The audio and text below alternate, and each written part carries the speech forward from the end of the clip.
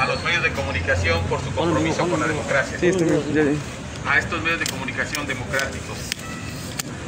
Como es de su conocimiento, el día de ayer, ejerciendo nuestro derecho a la libertad de manifestación, colocamos 13 contratos de este tamaño, los pegamos y de forma arbitraria, abusiva, con un abuso de poder total, los arrancaron.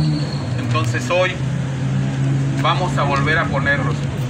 Y si nos los vuelven a arrancar, los volvemos a poner. No nos vamos a cansar. Aquí vivimos. También queremos informarles, bueno, para que ustedes tengan idea de lo que hicimos ayer, colocamos 13 contratos. El día de ayer pegamos 13 contratos del año 2019 y del año 2020. Estos 13 contratos hacen un total de 458 millones 728 mil 524. Es decir, en el año 2019 se firmaron cuatro contratos con un equivalente a 128 millones 185 mil 344. Y en el año 2020 se firmaron 11 con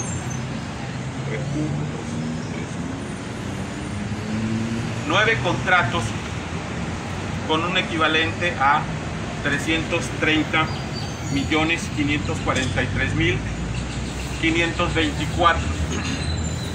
¿Qué hace de diferente este tipo de contratos de la corrupción, como los llamamos nosotros? En primer lugar, tienen cierta conexión, es decir, hay algunos contratos que consisten en, en el arrendamiento de camiones.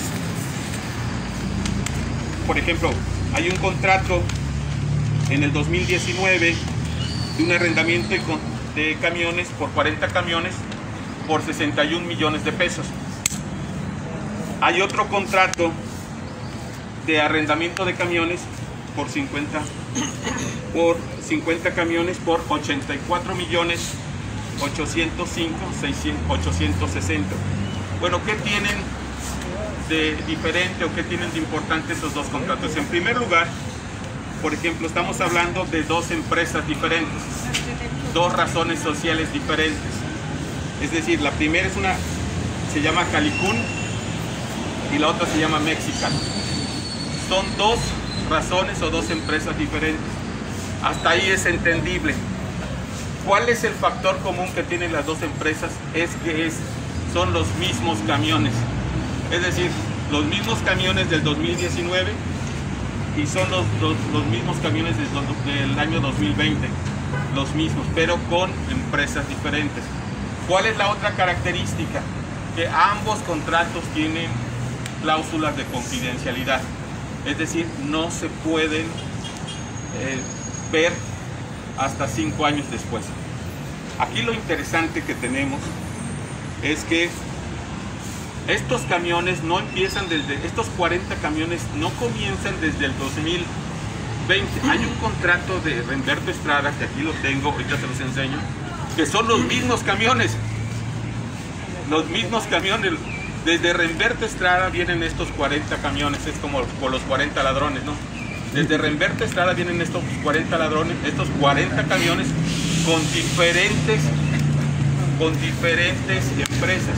Digo 40 ladrones porque, por ejemplo, con Renberto se llevaron 61 millones. Luego hubo otro contrato de 6 millones. Luego este contrato de 61 millones. Y luego este contrato último del 2020 con 84. Es decir, les recomiendo, consíganse 40 camiones chatarras y van a tener casi 400 millones de pesos. Eso es lo interesante. Ahora, ¿qué otra característica tienen estos contratos con razones sociales diferentes? Que casi todos tienen el mismo notario de Chiapas. Ya sea en la constitución de la empresa o ya sea en el nombramiento del representante legal. Entonces vemos otras características parecidas. O sea, como que todos estuvieran hechos con, cortados con la misma tijera. ¿Qué otras características tienen? Hay un, por decir así, un contrato madre que es el contrato que hizo Remberto. Es parecido. Todos los contratos son parecidos. O sea, hacer un papelito de estos te puede llevar 100 millones de pesos. ¿Qué es lo? Uno podría decir, bueno, es legal. Es tan legal que lo hicieron. Aquí, ¿qué es lo, lo que insulta? Lo que insulta es que, por ejemplo, en el año 2020 tuvimos la pandemia. Muchos de nuestros seres queridos se fueron.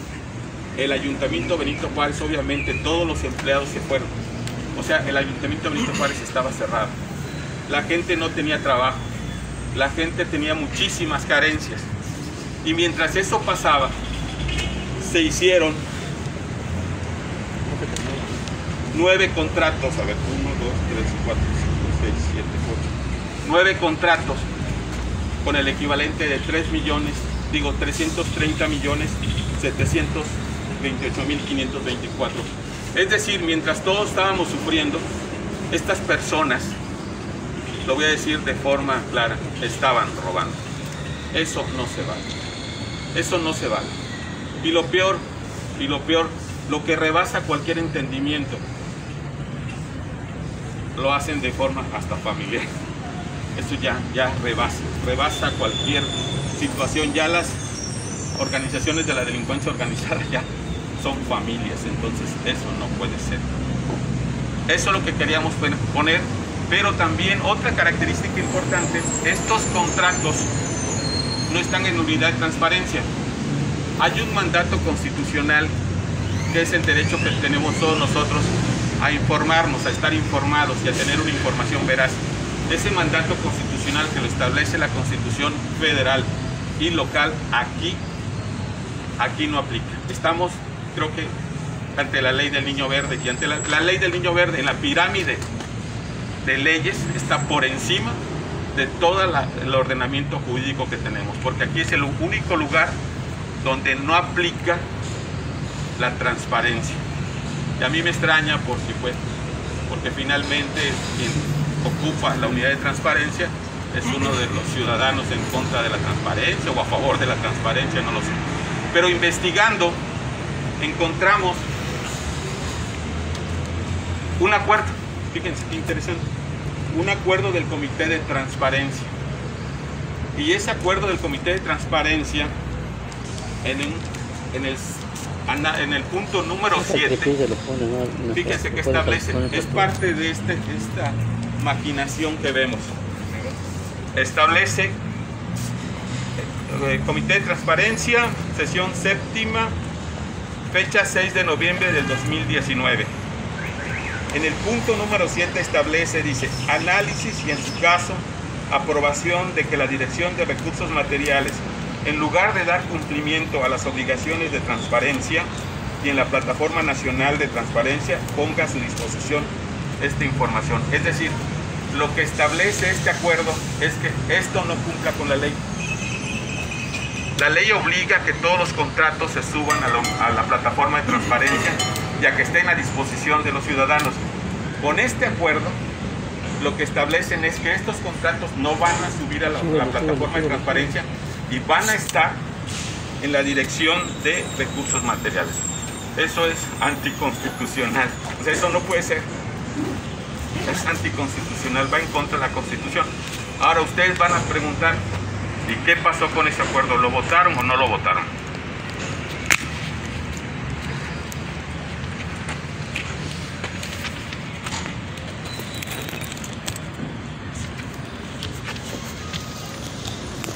Pues lo votaron a favor. Eso quiere decir, este es un acuerdo anticonstitucional es un acuerdo anticonstitucional. Me voy a atrever a leer lo que dice el acuerdo. Voy a poner los cargos en lugar de los nombres. En consecuencia, la, la Contralora Municipal, presidente del comité, sometió a votación de los integrantes del Comité de Transparencia, estando sus integrantes de acuerdo, por lo que de conformidad con los artículos 60, 62 de la Ley de Transparencia y Acceso a la Información para el Estado de Quintana Roo y derivado del estudio técnico jurídico realizado por parte de sus, integrantes, acuerdan con cuatro votos a favor por parte de la Contraloría Municipal, Secretaría Técnica, Secretaría General y Oficialía Mayor de un voto en contra por parte de la unidad de transparencia que el sujeto obligado denominado recursos materiales publicara en el en cancún.gov y en la plataforma nacional de transparencia únicamente aquellos contratos y procedimientos revisados y concluidos. Es decir, es decir, estos contratos no están en la unidad de transparencia. Derivado de todo lo que hemos visto y de que el día de ayer los arrancaron de forma arbitraria y con abuso de poder, los vamos a volver a colocar. Y vamos a poner aquí, vamos a clausurar el ayuntamiento por corrupto. Les agradecemos mucho su atención. Gracias.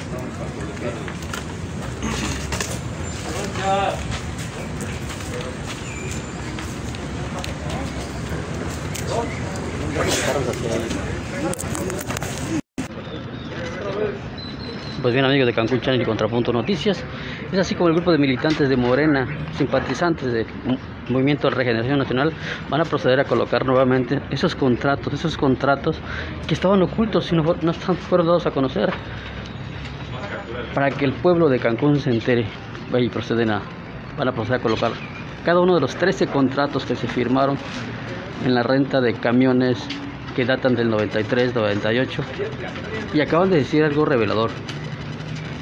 Estas mismas camionetas fueron rentadas en el trienio de Remberto Estrada. O sea, es decir, se rentaron cuatro quizás cinco veces con una cantidad estratosférica. Ahí vemos los, el primer contrato que están pegando. Y así, y ese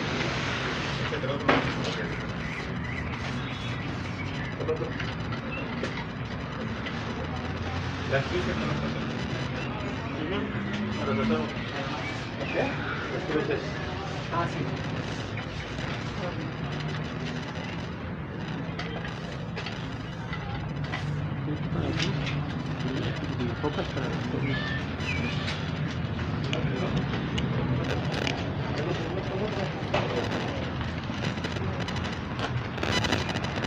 Pues bien amigos de Cancún Channel, Contrapunto Noticias, es el Palacio Municipal aquí en Cancún, Quintana Roo, donde en este momento militantes de Morena están procediendo a pegar los contratos que se realizaron para la renta de camionetas viejas. Una camioneta que fueron rentadas en la época de Remberto y luego fueron rentadas en, en este, en lo que va de la administración de Mara Lezama. Cada uno de los contratos están siendo pegados aquí en la parte del Palacio Municipal. Y estos en estos momentos van a proceder a clausurar lo que es el Palacio Municipal. Están, están preparando la lona. Clausurarlos por corruptos, como, dicen los militantes de, Mar- de Morena. Este es en la Plaza de la Reforma, en el Palacio Municipal de Cancún, Quintana Roo. Ahí está la lona, pueden ver la palabra corrupta. Lo que dice la lona es clausurado por corruptos.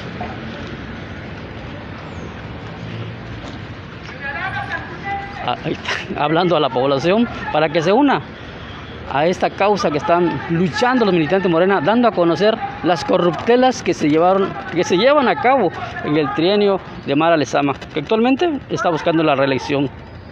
Amigos de Cancún Channel y Contrapunto Noticias, vamos a estar muy pendientes de lo que acontece aquí en la Plaza de la Reforma con los militantes de Morena.